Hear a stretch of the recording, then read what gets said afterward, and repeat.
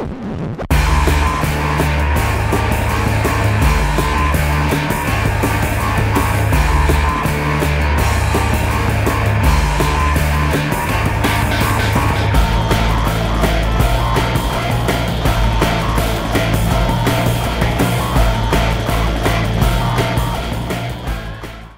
Hello, everyone, and welcome to another edition of the Bastard Review. This time around, I'm looking at WCW Starrcade 91.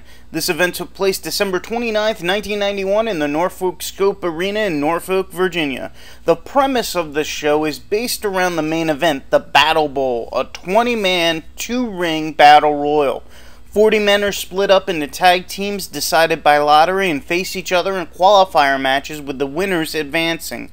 This was the first Starrcade to be a sole WCW production without the NWA, and also the first without Ric Flair. Our first match of the night sees Marcus Bagwell and Jimmy Garvin take on Tracy Smothers and Michael Hayes.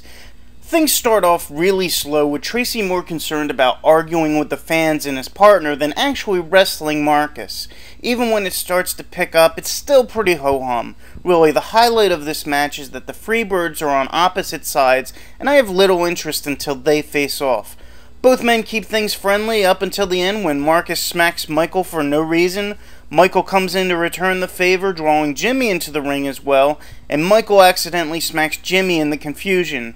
While they argue, Tracy goes high risk on Marcus, but Bagwell gets his knees up and gets the pin with a fisherman suplex. Will this lead to the Freebirds splitting up? I'm giving this a 5 out of 10.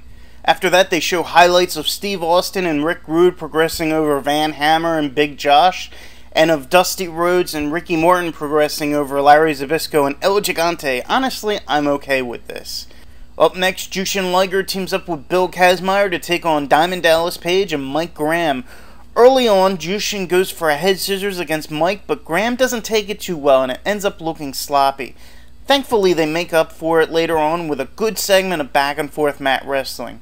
You know, for a big bulky guy, Bill does an impressive job of skinning the cat, which is when someone goes over the ropes while holding on to them and then pulls themselves back into the ring the way they came. This is obviously all about Liger, and thankfully he gets a chance to really wow the crowd, pulling out moves like a surfboard submission, a spinning heel kick, and going high risk with what I believe is a running 360 degree senton. Unfortunately, the camera barely shows it, which pisses me off. The end sees Jushin pick up the win when Bill presses him over his shoulders and launches him onto a turning DDP for an aided crossbody. A decent match that helps to introduce Jushin to the Virginia crowd. I'm giving this a 6 out of 10. Arn Anderson and Lex Luger take on Terry Taylor and Tom Z-Man Zank next in a decent 10 minute match, but honestly, you know who's advancing before the bell even rings. That being said, Terry and Tom managed to hold their own very well against Lex and Arn.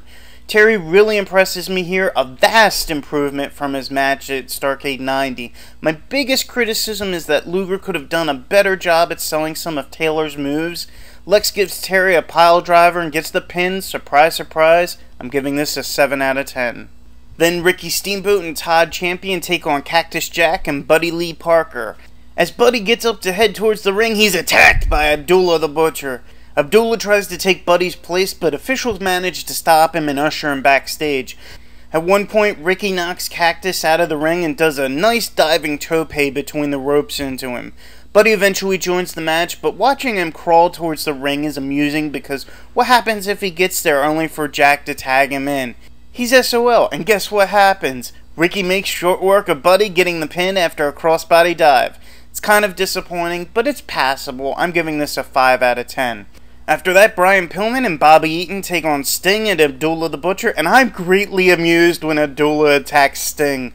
Brian tries to come to his aid, but then gets attacked by Bobby, and I just love the chaos before the match even begins. Bobby turns his attention to Sting, throwing him into the ring, and they spend just about all of the time there, though Abdullah and Brian do come in from time to time. Cactus Jack tries to interfere, but it backfires. Sting gets the pin on Bobby with a crossbody dive. Hmm, where have I seen this before?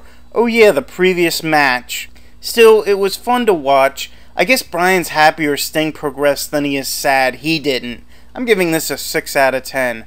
Post match, Cactus Jack attacks Abdullah and they fight to the backstage. I guess they're not tag team partners anymore. Rick Steiner teams up with a Night Stalker, substituting for an injured Diamond Stud to take on Big Van Vader and Mr. Hughes. Vader and Rick start things off vying for domination with some impressive strong arm wrestling. Rick barely manages to suplex Vader back into the ring, which is still impressive considering Vader's bulk. From there, it becomes somewhat of a train wreck of a match. The Night Stalker tags himself in when Mr. Hughes gets the upper hand over Rick and gives Hughes a diving clothesline that sends him back into his corner, allowing Vader to tag in. Jim Ross tries to convince me that the Night Stalker didn't notice the tag and thus falls prey to a clothesline and horrible looking Vader bomb, but you'd have to be blind to miss that tag. Factor in Rick trying to cover Hughes, neither of whom are the legal men, and it just makes for a stupid ending. I'm giving this a 4 out of 10. Then they show highlights of Scott Steiner and Firebreaker Chip going over Johnny B. Bad and Arachnaman, and Ron Simmons and Tommy Rich going over Steve Armstrong and PN News. Again, I'm perfectly fine with these highlights. Finally, we come to the main event. Though this is the first Battle Bowl, I explained the rules for this similar match in my Great American Bash 89 video. The only difference is that when the final two men meet, winning can only be achieved by elimination over the top ropes. This is your standard clusterfuck match. Entertaining, but very little that can be accomplished. Tommy Rich and Buff Bagwell are the first two entrants to the second ring, and even then they do very little. Jushin Liger gets to perform a few moves on Ricky Morton when they get in, but Liger is eliminated far too quickly for my liking. As a matter of fact, Ricky sends Liger through the middle ropes of the first ring, so technically Liger wasn't eliminated to the second ring. I demand a recount. Lex Luger and Vader are the final two wrestlers in the first ring, but Vader is ultimately sent to the second ring. Things pick up as it comes down to the final four in the second ring, them being Steve Austin and Rick Rude, both part of the Dangerous Alliance, Ricky Steamboat, and Sting. The crowd cheers as Rick accidentally eliminates Steve, then Ricky eliminates Rick while skinning the cat, only for Rude to pull Steamboat with him. Rude gets into the ring and gives Steve a hangman's neckbreaker he calls the Rude Awakening as the crowd explodes into anger. This allows Lex to pick up the pieces, but he makes a classic heelish mistake. Instead of eliminating the weakened Sting right away, he decides against it, saying he's going to punish Sting. This gives Sting a chance to bounce back, which he ultimately does. It's standard storytelling, and while the crowd is hot for the match and its outcome, I find it to be pretty average at best. I realize by this time both men are tired, but give me a little more than punch, kick, stinger, splash. Also, check out the way Luger takes Sting's punches. One of the goofiest faces I've ever seen. I'm giving this a 6 out of 10. On a side note, when Sting and Luger are fighting near the entrance ramp, to the right you can see a family and they brought their infant along, which I find amusing and disturbing at the same time. I mean, couldn't you find a babysitter? I'd understand if the kid was five or older, but this one couldn't be more than a year old. Then again, this is Virginia. Overall, Starrcade 91 suffers from the same problems I've endured from the past couple Starrcades. It just doesn't feel like the biggest show of the year. Instead of presenting us with top shelf matches with engaging stories and phenomenal wrestlers, WCW gives us the Battle Bowl. Not one title defended at this annual event. Just really disappointing, especially since at the time there was a lot of talent in the promotion. I'm giving this a charitable 6 out of 10. Thank you for listening. Please tune in again when I review another wrestling DVD in my collection or anything else that crosses my path.